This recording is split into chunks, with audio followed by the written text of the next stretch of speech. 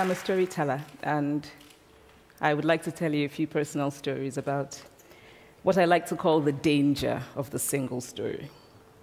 I grew up on a university campus in eastern Nigeria. My mother says that I started reading at the age of two, although I think four is probably close to the truth. So I was an early reader, and what I read were British and American children's books. I was also an early writer. And when I began to write at about the age of seven, stories in pencil with crayon illustrations that my poor mother was obligated to read, I wrote exactly the kinds of stories I was reading. All my characters were white and blue eyed. They played in the snow. They ate apples. and they talked a lot about the weather, how lovely it was that the sun had come out. Now, this despite the fact that I lived in Nigeria, I had never been outside Nigeria. We didn't have snow, we ate mangoes, and we never talked about the weather because there was no need to.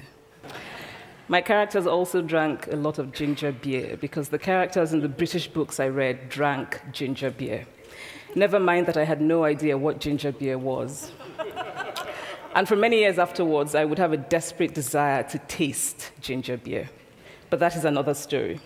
What this demonstrates, I think, is how impressionable and vulnerable we are in the face of a story, particularly as children. Because all I had read were books in which characters were foreign, I had become convinced that books by their very nature, had to have foreigners in them and had to be about things with which I could not personally identify. Now, things changed when I discovered African books. There weren't many of them available, and they weren't quite as easy to find as the foreign books. But because of writers like Chinua Achebe and Camara Laye, I went through a mental shift in my perception of literature.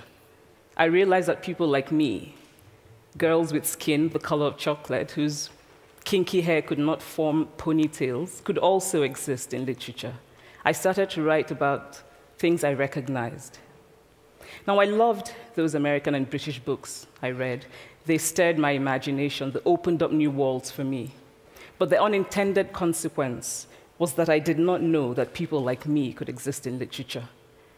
So, what the discovery of African writers did for me was this it saved me from having a single story of what books are. I come from a conventional middle class Nigerian family. My father was a professor, my mother was an administrator. And so we had, as was the norm, living domestic help who would often come from nearby rural villages. So the year I turned eight, we got a new houseboy. His name was Fide. The only thing my mother told us about him was that his family was very poor. My mother sent yams and rice and our old clothes to his family. And when I didn't finish my dinner, my mother would say, Finish your food. Don't you know people like Fide's family have nothing? So I felt enormous pity for Fide's family. Then one Saturday, we went to his village to visit. And his mother showed us a beautifully patterned basket made of dyed raffia that his brother had made. I was startled. It had not occurred to me that anybody in his family could actually make something. All I had heard about them was how poor they were, so that it had become impossible for me to see them as anything else but poor. Their poverty was my single story of them. Years later, I thought about this when I left Nigeria to go to university in the United States. I was 19. My American roommate was shocked by me.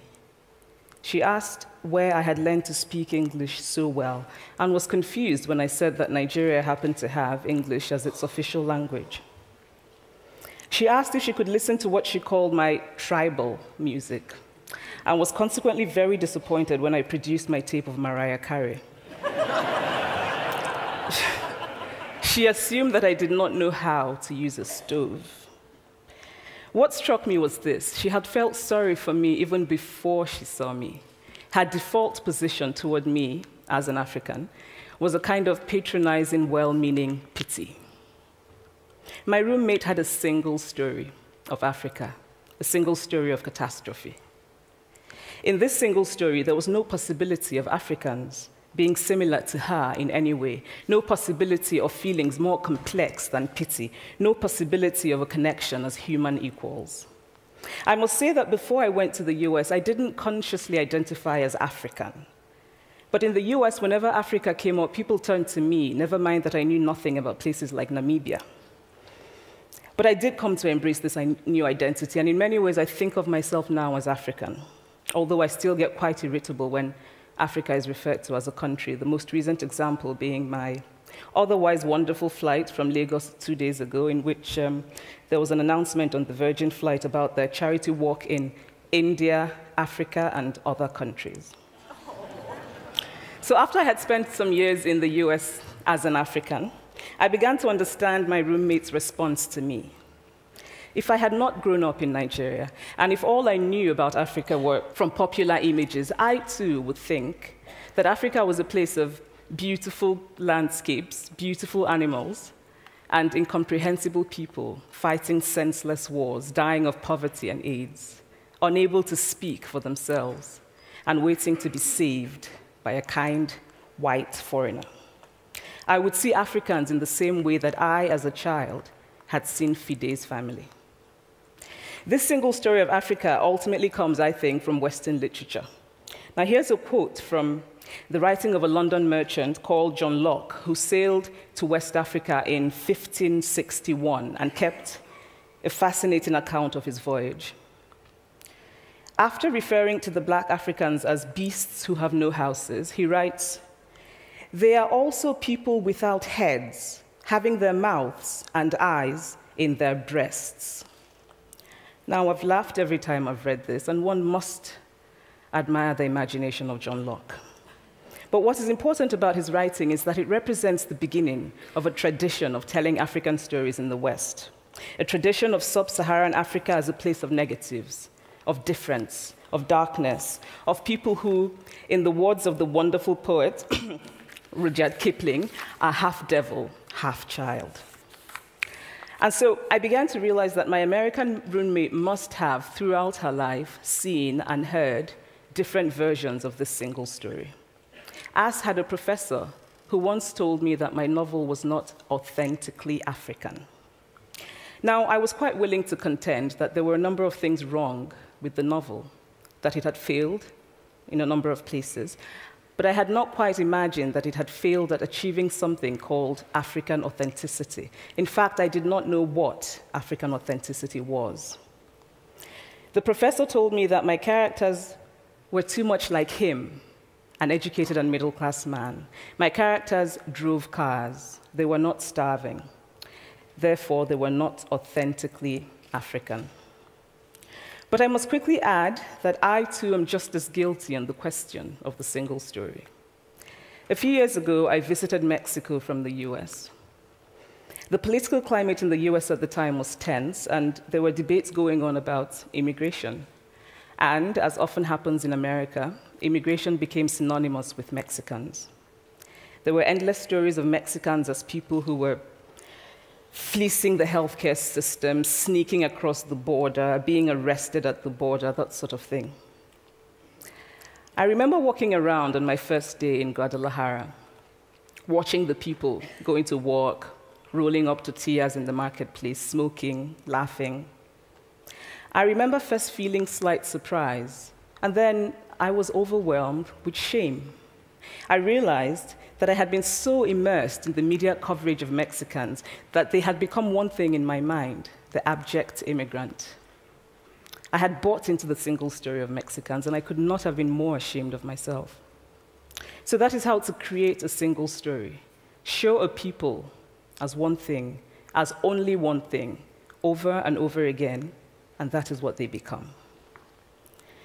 It is impossible to talk about the single story without talking about power. There is a word, an Igbo word, that I think about whenever I think about the power structures of the world, and it is nkali. It's a noun that loosely translates to to be greater than another. Like our economic and political worlds, stories too are defined by the principle of nkali. How they are told, who tells them, when they are told, how many stories are told, are really dependent on power. Power is the ability not just to tell the story of another person, but to make it the definitive story of that person. The Palestinian poet Mourid Barghouti writes that if you want to dispossess a people, the simplest way to do it is to tell their story and to start with secondly. Start the story with the arrows of the Native Americans and not with the arrival of the British, and you have an entirely different story. Start the story with the failure of the African state and not with the colonial creation of the African state, and you have an entirely different story. I recently spoke at a university where a student told me that it was such a shame that Nigerian men were, were physical abusers like the father character in my novel. I told him that I had just read a novel called American Psycho.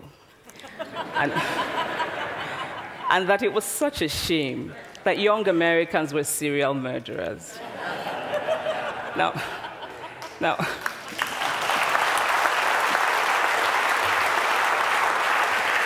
now, now, obviously, I said this in a fit of mild irritation, but it would never have occurred to me to think that just because I had read a novel in which a character was a serial killer, that he was somehow representative of all Americans. And now, this is not because I'm a better person than that student, but because of America's cultural and economic power, I had many stories of America. I had read Tyler, Updike, and Steinbeck, and Gaitskill. I did not have a single story of America. When I learned some years ago that writers were expected to have had really unhappy childhoods to be successful, I began to think about how I could invent horrible things my parents had done to me. but the truth is that I had a very happy childhood, full of laughter and love, in a very close knit family. But I also had grandfathers who died in refugee camps. My cousin, Polle, died because he could not get adequate health care. One of my closest friends, Okoloma, died in a plane crash because our fire trucks did not have water. I grew up under repressive military governments that devalued education so that sometimes my parents were not paid their salaries. And so as a child, I saw jam disappear from the breakfast table. Then margarine disappeared. Then bread became too expensive. Then milk became rationed. And most of all, a kind of normalized political fear invaded our lives. All of these stories make me who I am. But to insist on only these negative stories is to flatten my experience and to overlook the many other stories that formed me. The single story creates stereotypes, and the problem with stereotypes is not that they are untrue, but that they are incomplete. They make one story become the only story. Of course, Africa is a continent full of catastrophes, the immense ones, such as the horrific rapes in Congo, and depressing ones, such as the fact that 5,000 people apply for one job vacancy in Nigeria. But there are other stories that are not about catastrophe, and it is very important, it is just as important to talk about them. I've always felt that it is impossible to engage properly with a place or a person without engaging with all of the stories of that place and that person. The consequence of the single story is this it robs people of dignity. It makes our recognition of our equal humanity difficult. It emphasizes how we are different rather than how we are similar. So, what if before my Mexican trip, I had followed the immigration debate from both sides, the US and the Mexican? What if my mother had told us that Fide's family was poor and hardworking? What if we had an African television network that broadcast diverse African stories all over the world? What the Nigerian writer Chinua Achebe calls a balance of stories. What if my roommate knew about my Nigerian publisher, Muhtar Bakare, a remarkable man who left his job in a bank to follow his dream and start a publishing house? Now, the conventional wisdom was that Nigerians don't read literature. He disagreed. He felt that people who could read would read if you made literature affordable and available to them. Shortly after he published my first novel, I went to a TV station in Lagos to do an interview. And a woman who worked there as a messenger came up to me and said, I really liked your novel. I didn't like the ending. Now you must write a sequel, and this is what will happen. and she went on to tell me what to write in the sequel. Now, I was not only charmed, I was very moved. Here was a woman, part of the ordinary masses of Nigerians who were not supposed to be readers. She had not only read the book, but she had taken ownership of it and felt justified in telling me what to write in the sequel. Now, what if my roommate knew about my friend, Funmi Iyanda, a fearless woman who hosts a TV show in Lagos and is determined to tell the stories that we prefer to forget? What if my roommate knew about the heart procedure that was performed in the Lagos hospital last week? What if my roommate knew about contemporary Nigerian music, talented people singing in English and Pidgin and Igbo and Yoruba and Ijo, mixing influences from Jay Z to Fela to Bob Marley to their grandfathers? What if my roommate knew about the female lawyer who recently went to court in Nigeria to challenge a ridiculous law that required women to get their husband's consent before renewing their passports? What if my roommate knew about Nollywood, full of innovative people making films despite great technical odds? Films so popular that they really are the best example of Nigerians consuming what they produce. What if my roommate knew about my wonderfully ambitious hair braider who has just started her own business selling hair extensions? Or about the millions of other Nigerians who start businesses and sometimes fail but continue to nurse ambition? Every time I am home, I am confronted with the usual sources of irritation for most Nigerians our failed infrastructure, our failed government but also by the incredible resilience of people who thrive despite the government rather than because of it. I teach writing workshops in Lagos every summer, and it is amazing to me how many people apply, how many people are eager to write, to tell stories. My Nigerian publisher and I have just started a nonprofit called Farafina Trust, and we have big dreams of building libraries and refurbishing libraries that already exist and providing books for state schools that don't have anything in their libraries, and also of organizing lots and lots of workshops on reading and writing for all the people who are eager to tell our many stories. Stories matter. Many stories matter. Stories have been used to dispossess and to malign, but stories can also be used to empower and to humanize. Stories can break the dignity of a people, but stories can also repair that broken dignity. The American writer Alice Walker wrote this about um, her southern relatives who had moved to the north, and she introduced them to a book about the southern life that they had left behind.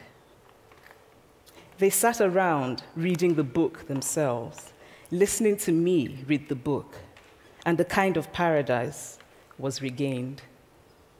I would like to end with this thought that when we reject the single story, when we realize that there is never a single story about any place, we regain a kind of paradise. Thank you.